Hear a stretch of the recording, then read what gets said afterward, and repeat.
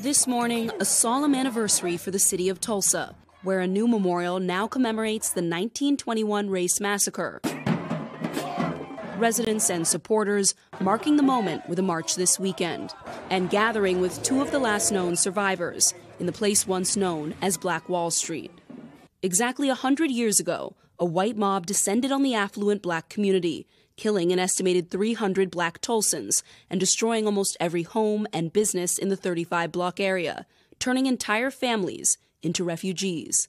Dr. Tiffany Crutcher's great grandmother was one of them.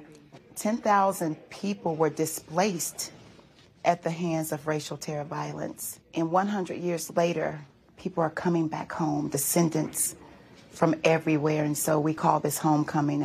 That homecoming bringing moments of reflection and sharpening the push for accountability. No one has ever been held responsible for the attack. The way to heal America is the reparations for the Tulsa descendants of this massacre. Can there be healing without repayment? I do not believe that there can be healing without uh, restitution or reparations. reparations. Without accountability, many black Tulsans worry this centennial will ring hollow. Amid the weekend's somber memorials, armed demonstrators marched through Tulsa Saturday, blocking streets as they urged black residents to take advantage of their Second Amendment rights. The anniversary comes as the country continues to grapple with race and its history. Crutcher's dream is that this weekend becomes a call to action. Is anything giving you hope?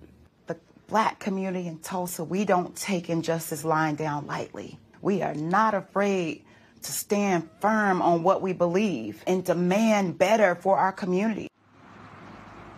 Tonight, there will be a candlelight vigil marking the start of the massacre. And tomorrow, President Biden is expected to travel here.